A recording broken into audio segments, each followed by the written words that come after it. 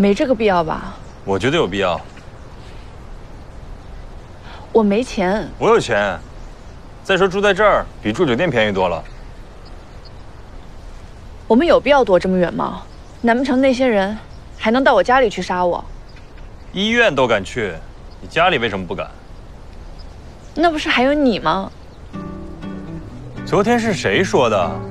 我没有义务保护某人的安全，同时，某人也没有必要把自己的安全寄托在别人身上。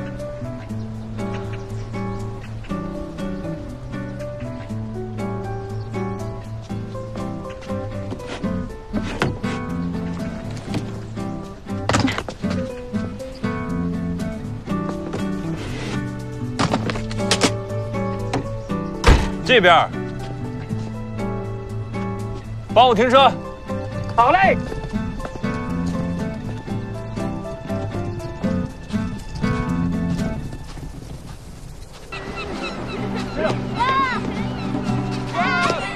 不好意思啊。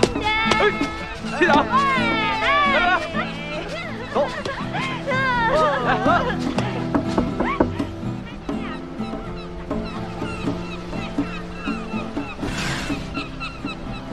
干嘛？过来看看你不行啊？是过来给你送红花油的。我不用。你不是腰疼吗？万一需要呢？留着吧。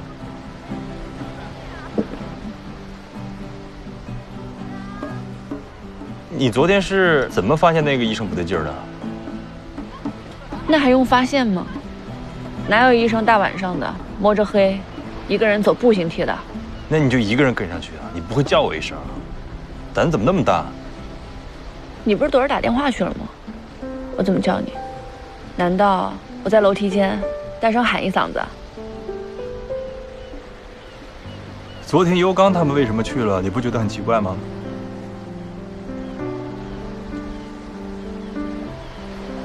我明天去找尤刚。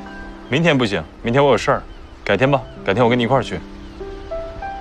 哎，你要是哪儿受伤了，自己够不着，需要人帮你擦黄花油的话，你记得叫我啊！哎，